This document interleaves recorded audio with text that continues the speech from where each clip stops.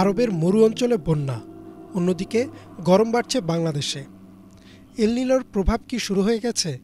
কি আছে বাংলাদেশের ভাগ্যে? দুই হাজার তেইশ সাল থেকে গবেষকরা ধারণা করেছিলেন যে দুই হাজার চব্বিশে আসবে ভয়াবহ এলনিনো শুধু এলনিনো না, সাথে আসবে এর বিপরীত পর্যায়ে লানিনাও যার ফলে চলতি বছরটি হবে ইতিহাসের সবচেয়ে উষ্ণতম বছর। হয়তো ইতোমধ্যেই শুরু হয়ে গেছে এর প্রভাব। যার ফলে আরব আমিরাত, ওমান সহ মধ্যপ্রাচ্যের দেশগুলোতে প্রচণ্ড বৃষ্টিপাত আর বাংলাদেশ, ভারত সহ দক্ষিণ এশিয়ার দেশগুলোতে নেমেছে গরম। আমাদের এই উপমহাদেশের ইতিহাস ঘাটলে দেখা যায়, আঠারোশো পঁচানব্বই থেকে আঠারোশো ছিয়ানব্বই সালে এ অঞ্চলে দেখা দিয়েছিল ভয়াবহ খরা, যার ফলে মৃত্যু হয়েছিল প্রায় পঞ্চাশ লক্ষ লোকের। তখনও এল নিনো সম্পর্কে তেমন একটা পরিষ্কার ধারণা ছিল না গবেষকদের।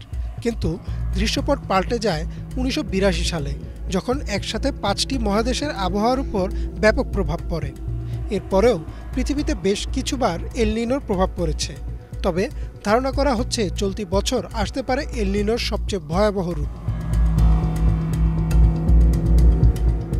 বিগত বছরের শেষ থেকে গবেষকরা বুঝতে পেরেছিলেন যে প্রশান্ত মহাসাগরে আবারও আবির্ভাব ঘটেছে এলনিনোর আর তা ধীরে ধীরে আরও তীব্র হচ্ছে। অর্থাৎ এমন হতে পারে যে এবছর শীতেও আমাদের ফ্যান ছেড়ে ঘুমানো লাগবে।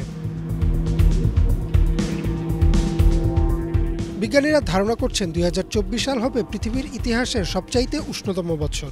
ভূপৃষ্ঠ উত্তপ্ত হয়ে যাবে, দেখা দিবে অনাবৃষ্টি আর খরা। আর কিছু কিছু অঞ্চলে দেখা দেবে প্রচণ্ড বৃষ্টিপাত, পাহাড়ি ঢল আর বন্যা, যার প্রভাব হয়তো শুরু হয়ে গেছে ইতোমধ্যেই।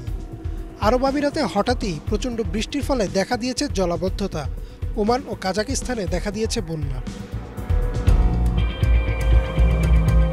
অন্যদিকে বাংলাদেশে গ্রীষ্মের শুরুতেই তাপমাত্রা পৌঁছে গেছে চল্লিশ ডিগ্রির কাছাকাছি। যদিও মাঝে মধ্যে আকাশ অন্ধকার করে নেমে আসছে কালবৈশাখী সহ শিলাবৃষ্টি, কিন্তু তাতেও কমছে না গরমের তীব্রতা। আবহাওয়া অফিসের মতে, এই তীব্রতা আরও বাড়ার আশঙ্কা রয়েছে।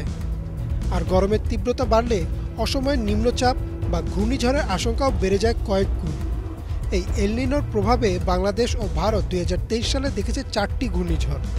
এবছর কি হবে তা হয়তো ধারণা করাও সম্ভব না।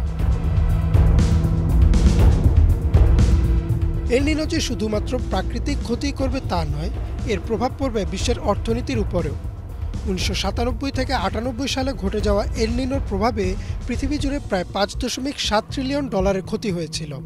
উনিশশো বিরাশি সালে সে ক্ষতির পরিমাণ ছিল চার দশমিক এক ট্রিলিয়ন ডলার। বিশেষজ্ঞদের ধারণা, চলতি বছর এলনিনোর প্রভাবে পৃথিবী জুড়ে ক্ষতি হবে প্রায় চুরাশি trillion dollar. Imran Mahmud, Bangla Vision.